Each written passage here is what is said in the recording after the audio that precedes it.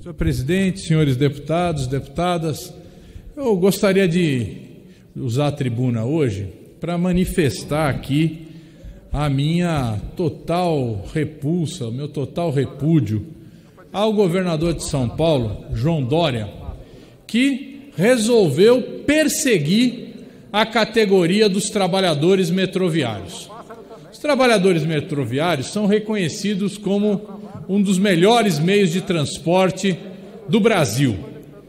E agora, na plena negociação salarial e da, do, do acordo coletivo de trabalho, o governo de João Dória propõe simplesmente revogar todas as conquistas que esses trabalhadores tiveram ao longo de décadas. E mais ainda, o governo, para se vingar dos trabalhadores, propõe acabar com a concessão do terreno onde o sindicato construiu a sua sede há 30 anos atrás.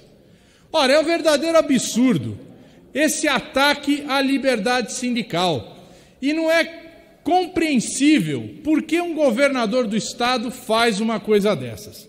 Então, nós gostaríamos aqui de manifestar o nosso repúdio a essa atitude absolutamente autoritária do governador João Dória, do secretário de Transportes, senhor Baldi, que foi nosso colega aqui nessa casa, certo? E de toda a diretoria da companhia do metrô. É inadmissível tentar revogar conquistas e, ao mesmo tempo, tentar destruir a organização sindical, privando o sindicato da sua sede. Muito obrigado, senhor presidente.